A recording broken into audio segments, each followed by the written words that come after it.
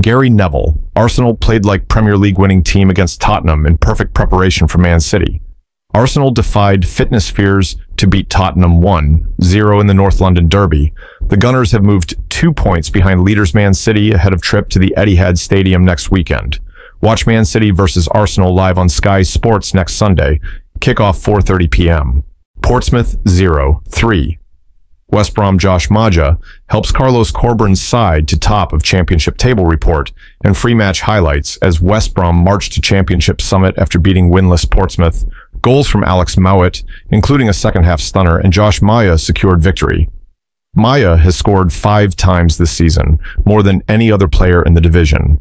Was Tottenham's Cristian Romero fouled before Gabriel's North London Derby winner for Arsenal?